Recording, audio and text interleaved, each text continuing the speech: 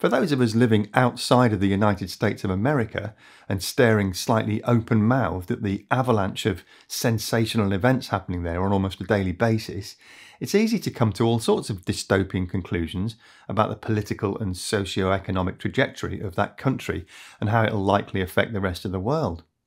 If, like me, your interests lie predominantly in climate and sustainability challenges, then you could be forgiven for thinking that the systematic demolition of federal protection for the environment and the dismantling of incentives and even the removal of permissions for new and existing projects effectively represents the complete shutdown of renewable energy in the USA and a 180 degree U turn back to the old days of total fossil fuel dominance. It's called Drill Baby Drill.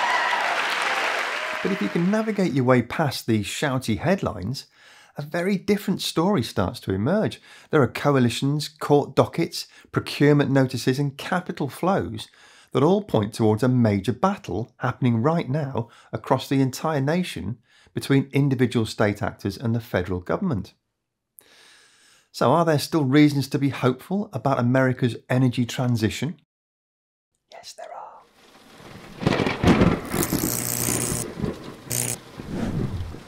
Hello, and welcome to Just Have a Think.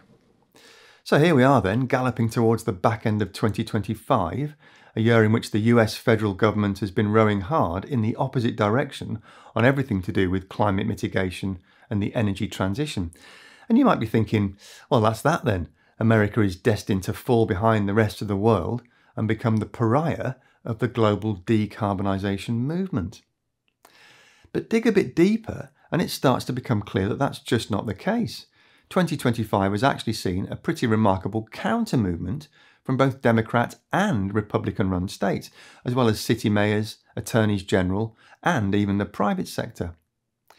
Before we look at that, it's that time again when I feel I need to ask for your help. You all know that I operate as a one man band here at the Just Think channel, doing all the research, writing, filming, animating, and editing myself. You probably also know that I never run ads or sponsor messages in any of my videos either, which means there's no marketing team to schmooze the operators of the YouTube algorithm to ramp up views and accelerate subscriber numbers. I rely entirely on you folks appreciating what I do and choosing to press the like and subscribe buttons.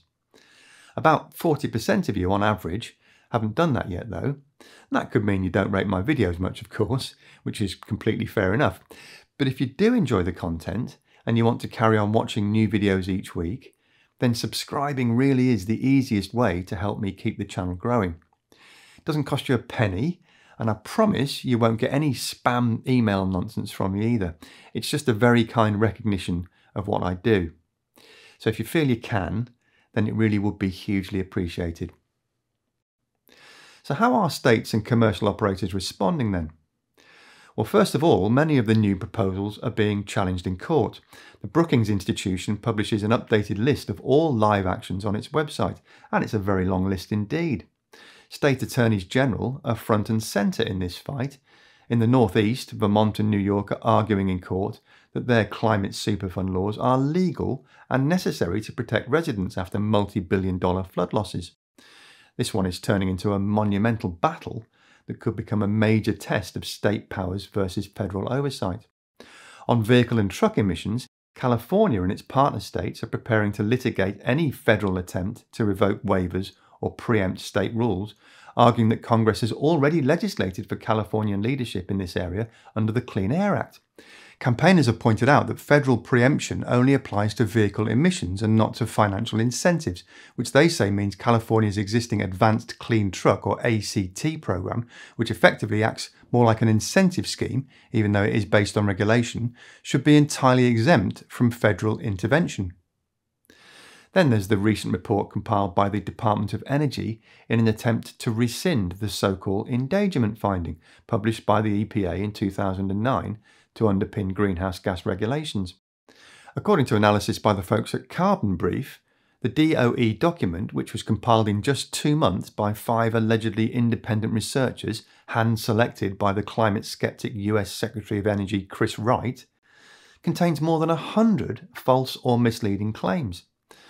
That information has not escaped the attention of state officials who are already signalling aggressive resistance. So, if the administration really does try to revoke the endangerment finding, that's an immediate sprawling court battle. That 2009 work was based on a mountain of peer reviewed science. Anything replacing it would have to pass what are known in US law as arbitrary and capricious tests, which are there precisely to prevent a government agency making up a new rule or scrapping an existing one just on a whim. States will no doubt join national NGOs to argue that this latest attempt by the DOE simply doesn't pass those tests. But away from the relentless negativity of litigation, there are more positive signs of progress and coordination between forward looking states. The US Climate Alliance is an organisation that was formed in 2017 in response to the original Orange executive order removing the USA from the Paris Climate Agreement.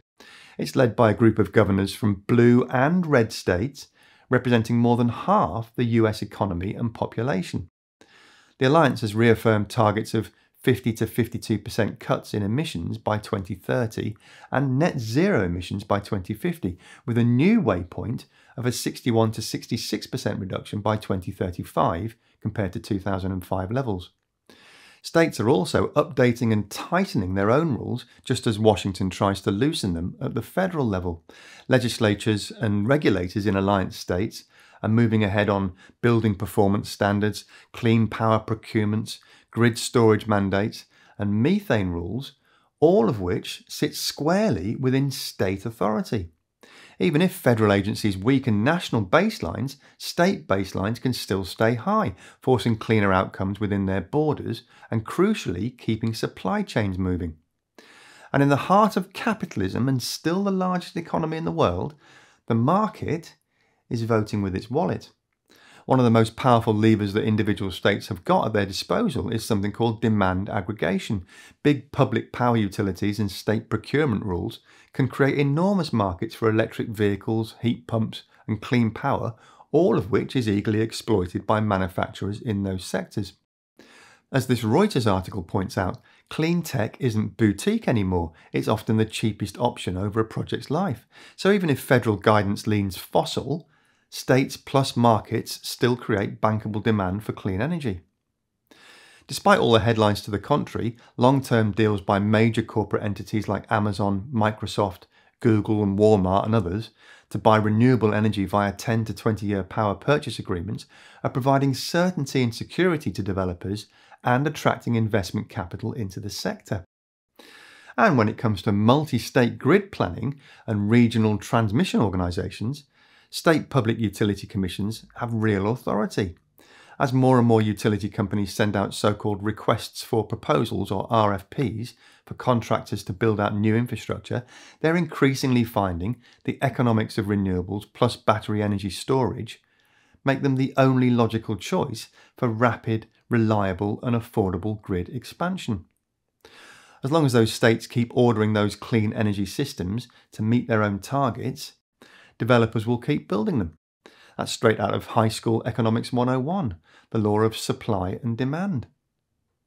The point is, the US federal government simply does not have the power to wave a magic wand in the form of an oversized Sharpie pen to erase all state climate policy. Constitutional structure and statutes matter. States control electric utility regulation, building codes, land use, and a lot of transportation planning. Washington can slow climate policy, but it can't stop states from decarbonising their own economies, especially when multiple states collaborate in a show of united coordination. And all of this doesn't just matter to America and American citizens either. It has implications far beyond US borders. When over half of United States GDP is generated in states that are still targeting rapid emissions cuts, global suppliers are going to continue building factories for clean tech in the United States, and that benefits everyone, doesn't it? Prices fall, learning curves steepen, and adoption spreads, even into states that aren't on board at the moment. Because market forces are extremely powerful, especially in an economy like America's. Ultimately, the recent federal rollbacks can't be discounted completely, of course. They could potentially raise emissions, delay benefits, and create uncertainty. But America is not a single unitary state like many authoritarian regimes that we see in other parts of the world. State governors attorneys general, city mayors, utility commissions, procurement officers, and behemoth corporations all still have significant agency in the US even now. And they appear to have absolutely no intention of shying away from the fight. Let me know your thoughts in the description section below. But that's it for this week. Don't forget to subscribe to the channel if you enjoyed this video. And if you also click on all notifications, you'll get a ping when new videos drop every Sunday. You can also directly support my work by joining the fabulous group of individuals over at patreon.com forward slash just have a think, who literally keep the lights on around here and enable me to keep ads and sponsorship messages out of all my videos. And I must just give a quick shout out to some folks who've joined recently with pledges of $10 or more a month. They are Donald Sproul, David Crouch, Silvio Rastovac, Nate, Laurie Pietarinen, Margaret Anderson, Ford Johnson, John Gallagher, Gordon C., Michael Mitten, and Helen and James Townsend. And of course, a massive thank you to everyone else who's joined since last time, too. Most important of all, though, thanks very much for watching. Have a great week, and remember to just have a think. See you next week.